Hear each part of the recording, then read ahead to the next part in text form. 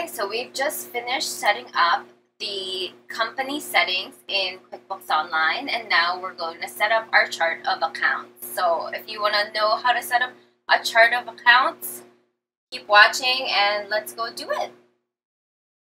To start setting up your chart of accounts in QuickBooks Online, you go to Accounting, Chart of Accounts, and then let's check which accounts are already here.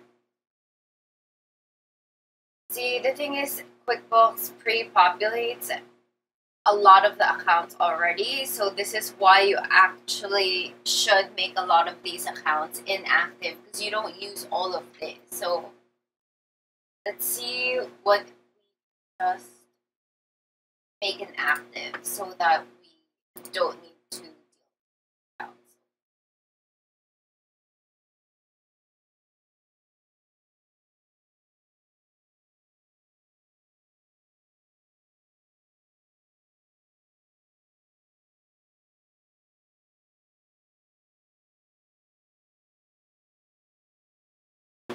Okay.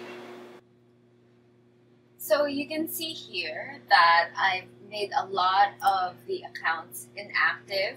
Those were just the accounts that QuickBooks kind of made for you based on the industry that you said you were in. Um, and all of these accounts are the ones that we're actually going to use.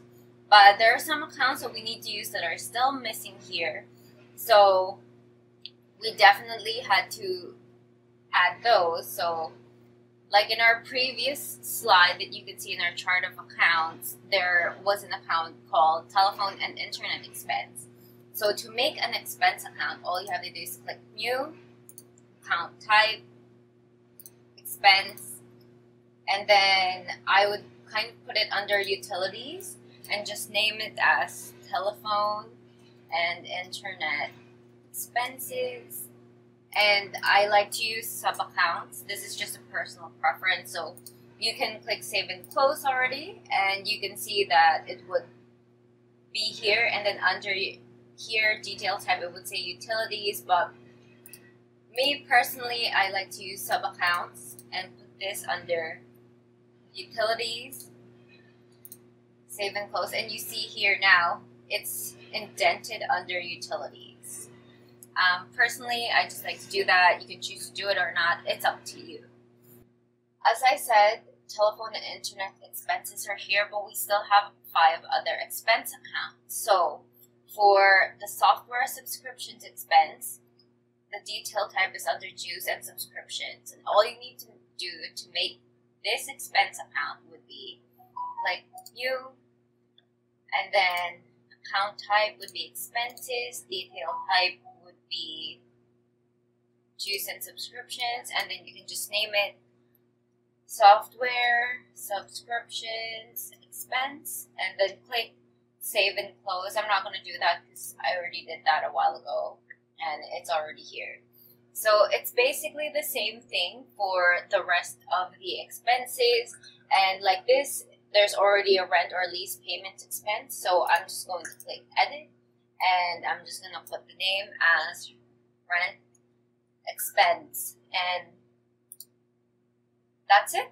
We already made our expense account. So the next accounts that we do need to have is a bank account, a credit card account, accounts receivable, accounts payable, owner's equity, owner's drawing, and the income accounts. So let's do the bank and credit card accounts first. So just click um, click new, type bank, detail type checking, and then just put checking and click save and close since there's no money there. And then to make a credit card, just click account type, credit card, and then just name it whatever you want to name, and then click save and close. Next one, accounts receivable, just click new, turned oh there accounts receivable and then just click save and close accounts receivable is there. Click new accounts payable accounts payable there. Click new and then this is quick equity and then click owner's equity and then click save and close, time, and then click new, equity, click owner's equity, and then put owner's drawing. So we have an owner's drawing account. And then the next we need to do is the income accounts. So I'm gonna just change this from the name sales to service or fee income and then income. Just take out the description and then click save and close. Click yes. And your income account is now saved over here. So we do have um, three different types of income as you see in the previous slide in the chart of accounts. So the three types of income we have would be email marketing income, customer service support income, and email and calendar management income. So we're going to make those now. I'm going to click income, service slash fee income, and then we're going to name it email marketing income. And you can click save and close now or you can choose to put it under a sub account which is what I like to do. So under income and then click save and close and then we're gonna see it over here. See email marketing income under the main income account we have to make another one for customer service support income so income service or fee income and then it's gonna be named customer service support income sub-account. Okay. Now you can see there's going to be two of them under income and then finally the last one would be the email and calendar management income.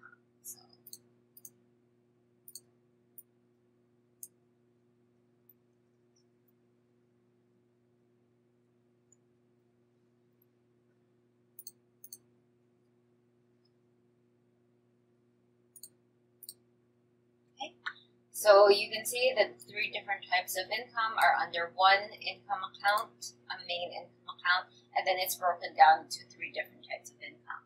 So the reason why I like to do this is because you can see which type of income or which service you provide would be giving you the most amount of income instead of it just being lumped into one main income account and you don't see the breakdown. So this would really, really help you make better business decisions on what type of service to offer or to expand on those type of services since you see which type of service you offer pulls in the most amount of money. And that's it. That's our chart of accounts. So we made a bank account, a credit card, accounts receivable and payable, owner's equity, all the income accounts, as well as all the expense accounts that we need. And You've done it. You've built a chart of accounts. Hey guys, I hope you liked the video and please don't forget to subscribe so you can tune in to the next videos in our tutorial series here on YouTube. And once again, this is Arielle from Fix My Books and I'm here to help you fix your books. Now, if you have any questions, please feel free to comment down below and ask me your questions and I'll try my best to respond to them. Have a great day, guys. Bye.